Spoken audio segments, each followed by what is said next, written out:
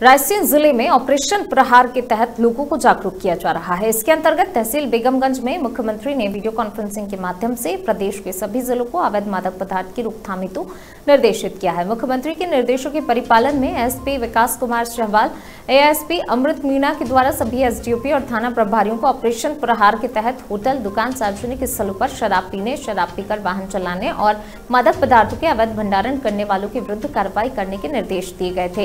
SI Ranjana Sharma ने police staff के साथ ग्राम बड़ी विनायकपुर सहित अन्य ग्रामों में पहुंचकर लोगों को समझाइश दी जा रही है और साइबर क्राइम के मामले से कैसे दूर रहें और बचा जा सके, इसकी जानकारी भी ग्रामीणों को दी गई।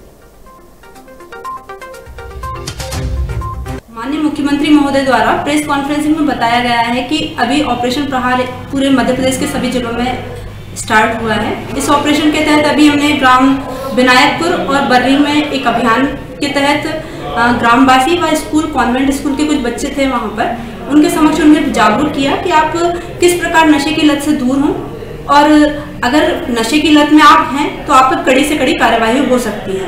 और उन सभी ग्रामवासियों को यह सलाह दी गई कि आप जब भी घर से निकलें, अगर दो पहिया वाहन का यूज़ करते हैं तो उस समय हेलमेट का अवश्य प्रयोग करें। अन्यथा आपके ऊपर दंडात्मक कार्यवाही व एक सौ पचासी की कार्यवाही की जा सकती है।